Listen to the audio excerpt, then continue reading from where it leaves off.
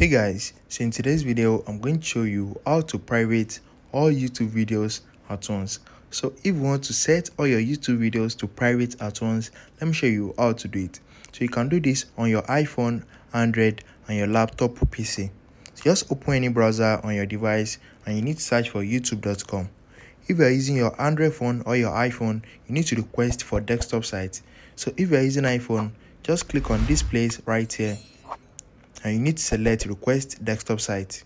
So if you are using chrome on your android phone just click on these three dots once you're in youtube.com scroll down and click on request desktop site. So it is very easy.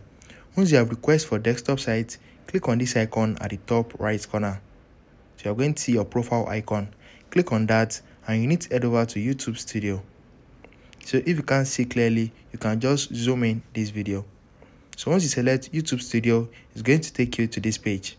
Once you're in this page click on this content menu right here. So once you click on the content menu they are going to show your videos.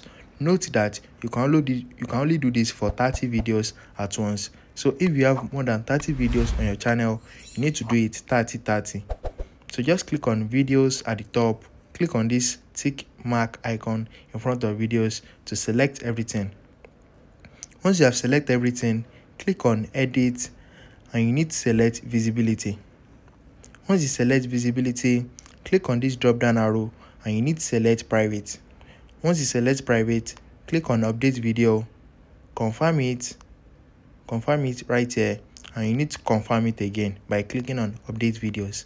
So once you click on that it's going to take a few seconds to update everything and you're going to set it to private so as you can see it is already processing it.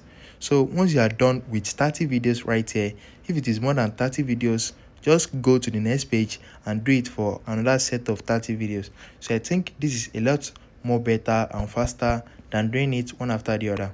So as you can see all these videos are now private. So it is very easy and straightforward.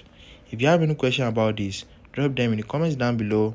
And don't forget to like share and subscribe to my channel Thanks for watching guys.